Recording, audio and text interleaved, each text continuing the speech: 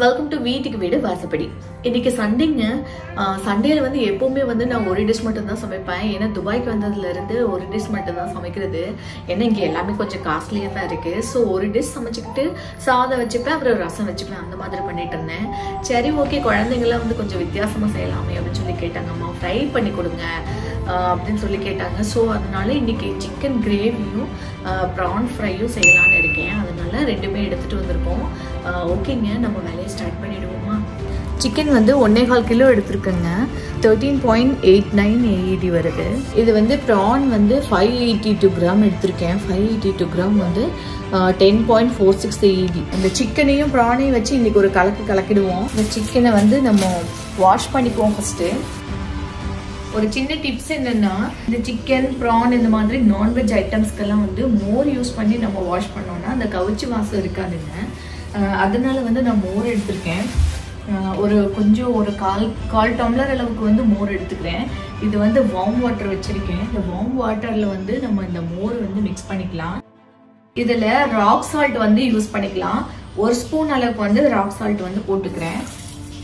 ஒரு ஸ்பூன் அளவுக்கு வந்து மஞ்சள் தூள் வந்து ஆட் பண்ணிக்கிறேன். சிக்கன் வந்து ஓபன் பண்ணிக்கலாம்.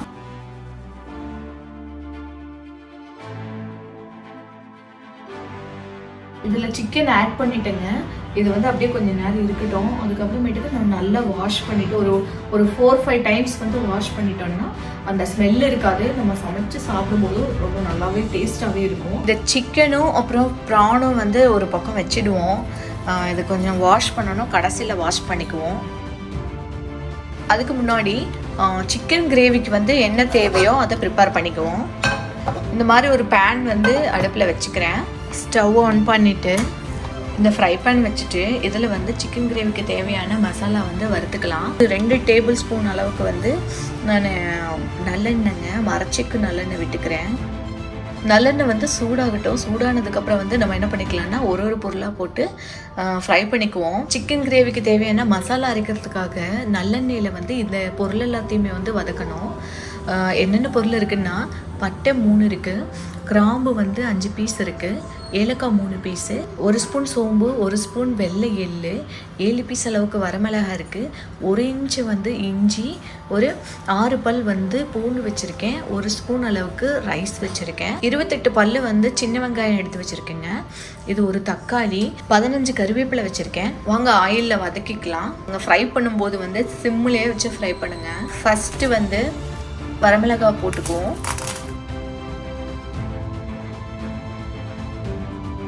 லைட்டாக ஃப்ரை பண்ணிட்டேன். இதுக்கப்புறம் மூணு பட்டை மூணு கிராம்பு மூணு ஏலக்காய் அதுக்கப்புறம் கார்லிக் கார்லிக் அப்புறம் அப்புறம் ஒரு இன்ச்சு வந்து இஞ்சி. இது எல்லாத்தையுமே வந்து நல்லா ஃப்ரை பண்ணிக்கிறேன்.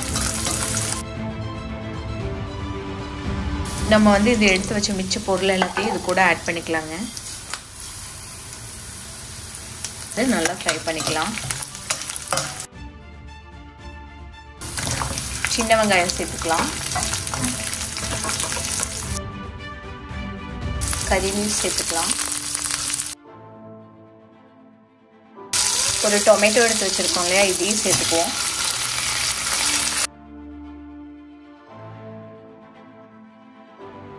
இது நல்லா ஃப்ரை ஆகட்டும். இது ஃப்ரை ஆகிற டைமில் என்ன பண்ணிக்கலாம்னா நம்ம தேங்காய் அரைச்சிக்குவோம். இந்த கப்பில் ஒரு கப் அளவுக்கு கோகோனட் எடுத்திருக்கேன். இந்த கோகோனட் வந்து ஆட் பண்ணிக்கலாம். ஒரு எட்டு பீஸ் அளவுக்கு முந்திரி வந்து ஹாட் வாட்டரில் ஊற வச்சுருக்கேன். ஸோ அதையும் எடுத்துக்குவோம். ஹாஃப் டீஸ்பூன் அளவுக்கு வந்து சோம்பு எடுத்துக்கிறேன். இது எல்லாத்தையும் நம்ம அரைச்சிட்டு வந்துடலாம். வறுத்த பொருள் எல்லாத்தையுமே வந்து மிக்சி ஜாரில் மாத்திட்டேங்க. இதை வந்து நம்ம நல்லா மிக்சியில் வந்து ஃபைனாக அரைச்சிடலாம். சிக்கன் குழம்புக்கு தேவையான மசாலாவும் தேங்காயும் அரைச்சாச்சுங்க. இந்த ஒன்னே கால் கிலோ சிக்கனை வந்து நான் என்ன பண்ணியிருக்கேன்னா மோரில் வச்சு ஊற வச்சிருந்தேன் இல்லைங்களா? ஒரு ஃபைவ் மினிட்ஸ் நல்லா வந்து வாஷ் பண்ணியாச்சு. இதில் வந்து என்னென்ன போட்டு மேரினேட் பண்ணணும்னா ரெண்டு டேபிள் ஸ்பூன் அளவுக்கு வந்து தயிர் ஆட் பண்ணிக்கிறேன். புளிக்காத தயிரை வந்து யூஸ் பண்ணணும். இல்லைன்னா சிக்கன் குழம்பு வந்து கொஞ்சம் புளி பிடிச்ச மாதிரி இருக்கும். ஸோ புளிக்காத தயிரை வந்து இது கூட ஆட் பண்ணிக்கிறேன். ஒரு ஸ்பூன் அளவுக்கு வந்து சால்ட் ஆட் பண்ணிக்கிறேன்.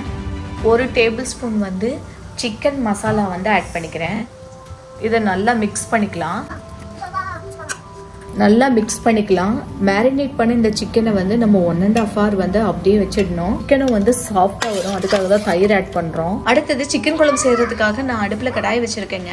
சிக்கன் குழம்புனாலே நல்லெண்ணெய் தான் சூப்பராக இருக்கும். அதனால நான் நல்லெண்ணெய் வந்து யூஸ் பண்ணிக்கிறேன். கடாய் கொஞ்சம் சூடானதுக்கப்புறம் இதில் வந்து நாலு டேபிள் ஸ்பூன் அளவுக்கு வந்து நல்லெண்ணெய் ஆட் பண்ணிக்கலாம்.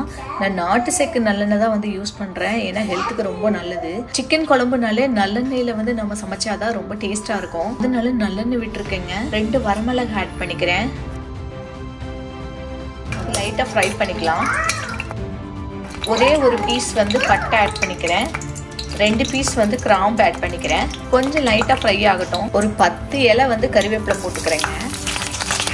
ஒன்றே கால் கிலோ சிக்கன் எடுத்ததுனால நான் வந்து ஒரு மூணு பீஸ் அளவுக்கு வந்து பெரிய வெங்காயம் வந்து சின்ன சின்னதாக கட் பண்ணி வச்சுருக்கேன். இதை ஆட் பண்ணிக்கிறேன். இதை கொஞ்சம் ஃப்ரை பண்ணிக்கலாம். ஃப்ரை ஆகட்டும். ஆனியன் வந்து நல்லா வதங்கிடுச்சுங்க. கண்ணாடி பதத்துக்கு வந்துடுச்சு அப்புறம் சிக்கன் வந்து ஆட் பண்ணிக்குவோம். ஒன் அண்ட் ஆஃப் ஹவர் வந்து நான் சிக்கனை வந்து ஊற வச்சுருக்கேன். ஸோ அது நல்லாவே வந்து உப்பு சிக்கன் மசாலா எல்லாமே வந்து அந்த சிக்கனில் இறங்கியிருக்கும். இப்போ வந்து இந்த சிக்கனை வந்து இந்த ஆனியனில் ஆட் பண்ணிக்குவோம். நல்லாவே மிக்ஸ் பண்ணிக்கோங்க. சிக்கன் வந்து ஆஃப் குக் ஆனதுக்கப்புறம் நம்ம வறுத்து அரைச்ச அந்த மசாலாவை வந்து நம்ம இது கூட ஆட் பண்ணிக்கலாம். நல்லா கலந்து விட்டுடலாம். தேவையான அளவுக்கு வந்து தண்ணி வந்து ஆட் பண்ணிக்கலாம்.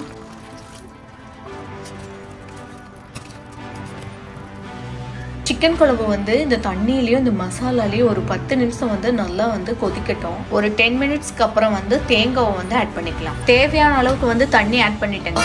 க்ளோஸ் பண்ணி வச்சு குக் பண்ணலாம். சிக்கன் குழம்பு நல்லா வெந்துருச்சு கொதிச்சிட்டு இருக்கு நம்ம அரைச்சி வச்ச தேங்காய் வந்து ஆட் பண்ணிக்குவோம்.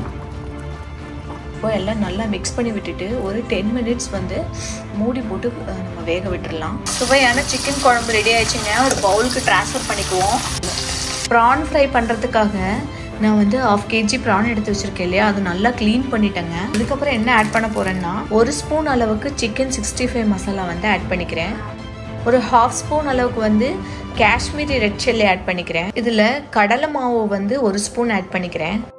கார்ன்ஃப்ளவர் வந்து ஒரு ஸ்பூன் ஆட் பண்ணிக்கிறேன். ஒரு கால் ஸ்பூன் அளவுக்கு உப்பு ஆட் பண்ணிக்கிறேன். இதை மிக்ஸ் பண்ணிக்கலாம்.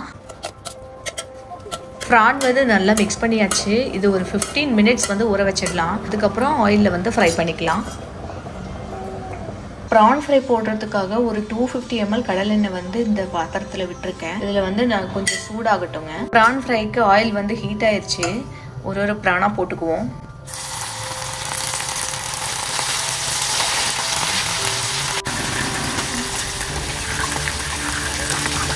சூப்பராக கம கமன்னு ஸ்மெல் வந்துட்டுருக்குங்க குழந்தைங்களாம் ரொம்பவே ஆர்வமாக இருக்காங்க. ப்ரான் ஃப்ரை ஆயிடுச்சு ஸோ எடுத்துருவோம். சூப்பராக இருக்குங்க. சூப்பர் அட்டகாசமான ப்ரான் ஃப்ரை ரெடி ஆயிடுச்சுங்க சுவையான சிக்கன் குழம்பும் ப்ரான் ஃப்ரையும் ரெடி ஆயிடுச்சுங்க சூப்பராக இருக்குது குழந்தைங்கள்லாம் சாப்பிட்டுட்டு சொன்னாங்க. ஹஸ்பண்டும் சொல்லியிருந்தாரு ரொம்பவே நல்லா இருக்குன்னுட்டு. இதில் ஃபைனலாக மல்லி எல்லாம் மட்டும் தூவிட்டு நம்ம வந்து சர்வ் பண்ணிடலாம். சூப்பராக இருக்குங்க. சமைக்கும் போதே டேஸ்ட் பண்ணாங்க. செம்ம டேஸ்ட்டாக இருக்குங்க. இதே மாதிரி அளவில் செஞ்சு பார்த்துட்டு எனக்கு வந்து கமெண்ட் பண்ணுங்கள்